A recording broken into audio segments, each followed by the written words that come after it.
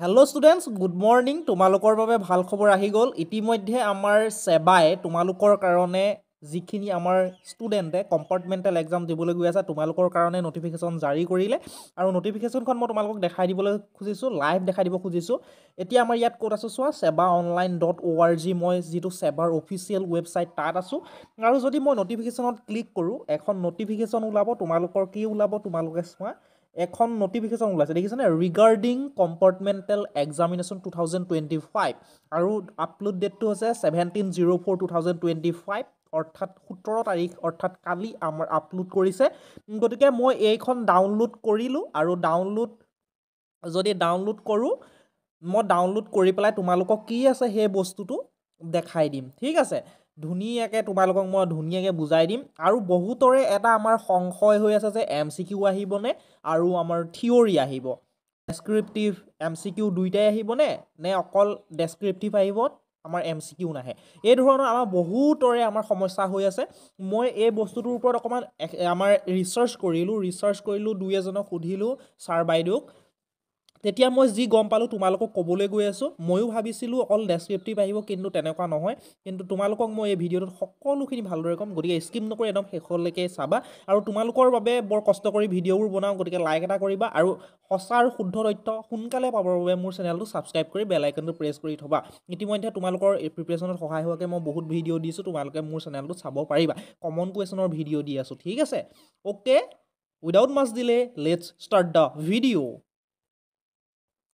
এইখন হৈছে নটিফিকেশ্যনখন যিখন তোমালোকৰ কাৰণে আহিছে। গতিকে এই নটিফিকেশ্যনখন তোমালোকে ইলিজিবিলিটি ক্ৰাইটেৰিয়াবোৰ জানাই তোমালোক কোনে কোনে আমাৰ এক্সাম দিব পাৰিবা যিসকলে আমাৰ মেক্সিমাম তিনিটা ছাবজেক্টত ফেইল কৰিছা আৰু অতি কমেও এশ সত্তৰ নম্বৰ তোমালোকে লাভ কৰিছা তেওঁলোকে এক্সামটো দিব পাৰিবা আৰু তোমালোকে যিটো কম্পাৰ্টমেণ্টেল এক্সাম দিবলৈ গৈ আছা তাত তোমালোকে ওৱান এইট্টি অৰ্থাৎ থাৰ্টি পাৰ্চেণ্ট মাৰ্কছ পাবই লাগিব তেতিয়াহে তোমালোকে নেক্সট আমাৰ এইচ এছ ফাৰ্ষ্ট ইয়েৰ যিটো তোমালোকৰ এডমিশ্যন হ'বলৈ গৈ আছে তাত নেক্সট মানে একাডেমিক ইয়েৰত তোমালোকে এডমিশ্যন ল'ব পাৰিবা। অ'কে ধুনীয়াকৈ সেইটো বুজি পালা। তাৰপিছত কি কৈছে মই তোমালোকক এটা এটাকৈ ধুনীয়াকৈ কৈ দিম। আৰু আমাৰ যিটো compartmental exam two thousand twenty five আমাৰ হ'বলৈ গৈ আছে তাৰ বাবে আমাৰ ডেট ডিক্লিয়াৰ সোনকালে কৰিব তোমালোকক নটিফাই কৰিব আৰু নটিফাই কৰাৰ লগে লগে নটিচ দিয়াৰ লগে লগে মই তোমালোকক জনাম। তোমালোকে সেইকাৰণে মোৰ লগত কানেক্ট হৈ থাকিবা চেনেলটো ছাবস্ক্ৰাইব কৰি বেলাইকনটো প্ৰেছ কৰি ৰাখিবা। ঠিক আছে? ইতিমধ্যে আমাৰ পোন্ধৰ তাৰিখৰ পৰা তোমালোকৰ ফৰ্ম ফিল আপ আৰম্ভ হৈ গৈছে সাতাইছ তাৰিখলৈকে হ'ব গতিকে তোমালোকে ধুনীয়াকৈ কৰি ল'বা। আৰু এটা আমাৰ ছাবজেক্টত পাৰ ছাবজেক্ট পাঁচশ টকাকৈ দিব লাগিব তোমালোকে। আৰু চেণ্টাৰ ফিটো হৈছে ওৱান ফিফটি সেইবোৰ সকলোবোৰ মই আগৰ ভিডিঅ'ত কৈ থৈছোঁ তোমালোকে নিশ্চয় জানাই। গতিকে এইবোৰ বেছিকৈ কৈ নাথাকোঁ। মেইন কথাটো হ'ল তোমালোকৰ দু এম চি কিউ আৰু ডেছক্ৰিপ্টিভ সেইটো আমাৰ কনফিউজনটো মই দূৰ কৰিবলৈ গৈ আছোঁ এতিয়া।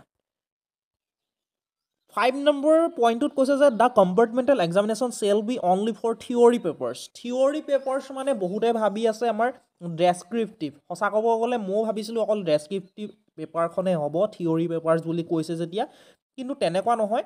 এই থিয়ৰী মানে হৈছে ইয়াত আমাৰ এম চি কিউ আৰু ডেছক্ৰিপ্টিভ অৰ্থাৎ অবজেক্টিভ আৰু ডেছক্ৰিপ্টিভ অবজেক্টিভ মানে হৈছে তোমালোকৰ এম চি কিউ আৰু ডেছক্ৰিপ্টিভ মানে হৈছে তোমালোকে যিখন লিখা।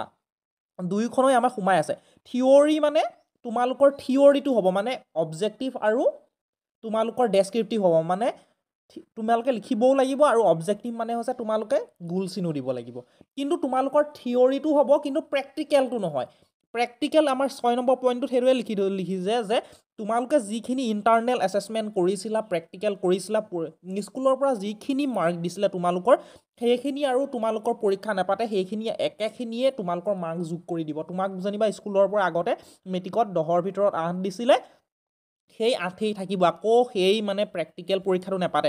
অকল ইয়াত আমাৰ থিয়ৰী পেপাৰটো পাতিব। অৰ্থাৎ তোমালোকৰ মেট্ৰিক পৰীক্ষা যেনেধৰণে হৈছিলে এম চি কিউ আৰু অবজেক্টিভ এম চি কিউ হৈছিলে আৰু ডেছক্ৰিপ্টিভো হৈছিলে তেনেধৰণে হ'ব। আৰু ছেভেন নম্বৰ পইণ্টটোৱে আমাৰ একদম ক্লিয়াৰ কৰি দিছে একদম চোৱা সেইটো there will be provision of O' M R answer sheet for the objective question of core subject as in the main H S L C examination two thousand twenty five অৰ্থাৎ H S L C examination two thousand twenty ফাইভত আমাৰ ক'ৰ ছাবজেক্টবোৰত থকাৰ দৰে objective question থাকিব আৰু অ' M R চিত থাকিব।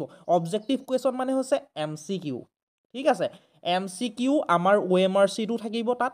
আৰু ক'ৰ ছাবজেক্ট কোনবোৰ? ক'ৰ ছাবজেক্টকেইটা হৈছে English maths science social science এইকেইটা। ঠিক আছে? এইকেইটাৰ আমাৰ কি থাকিব? তোমালোকৰ এম চি কিউ থাকিব। ঠিক আছে ইয়াত ক'ৰ ছাবজেক্ট বুলি লিখি দিছে দেখিছানে?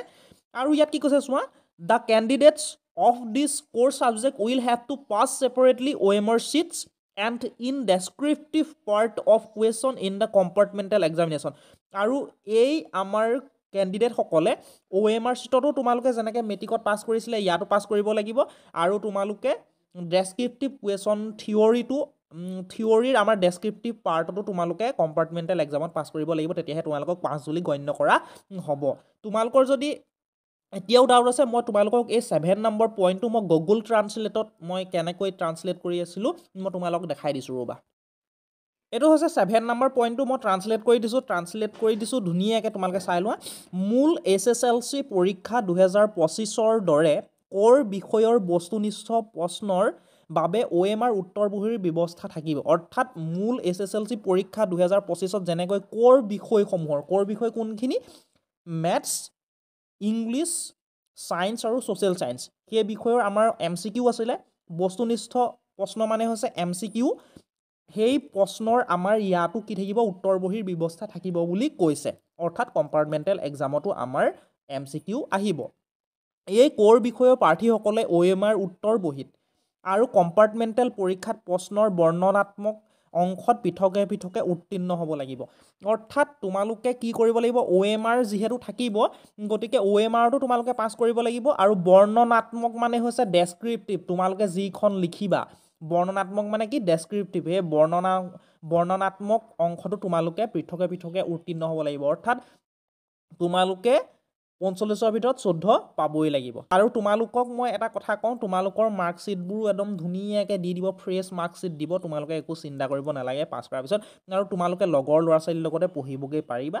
আগষ্টৰ পৰা আমাৰ হায়াৰ ছেকেণ্ডেৰী তাৰমানে তোমালোকৰ ক্লাছবোৰ আৰম্ভ হয় গতিকে তোমালোকে তেতিয়ালৈ এডমিশ্যন ল'ব পাৰিবা।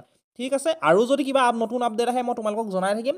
মোৰ এটা হোৱাটছআপ চেনেল আছে হোৱাটছআপ চেনেলটো তোমালোক জইন হৈ ল'বা মই তলত লিংক দি দিম। আৰু নতুন আপডেট আহিলে মই লগালগে জনাব পাৰিম। তেতিয়া তোমালোকৰ কাৰণে সুবিধা হ'ব। ঠিক আছে তেতিয়াহ'লে ভালে থাকিবা কুশল থাকিবা আৰু চাই থাকিবা তোমালোকৰ মৰমৰ YouTube channel Partha tutorials thank you guys